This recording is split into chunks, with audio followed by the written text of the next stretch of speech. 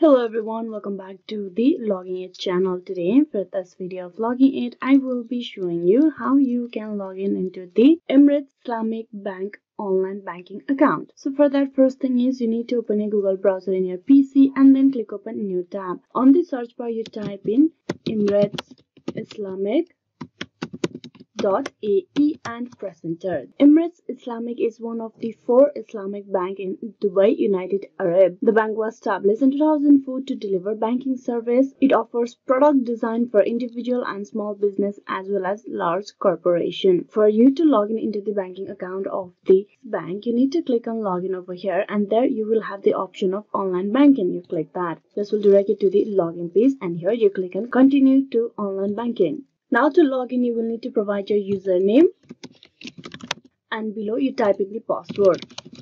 Once you provided both the details, you click on login. If you do not have a online banking, you can click on self-registration over here.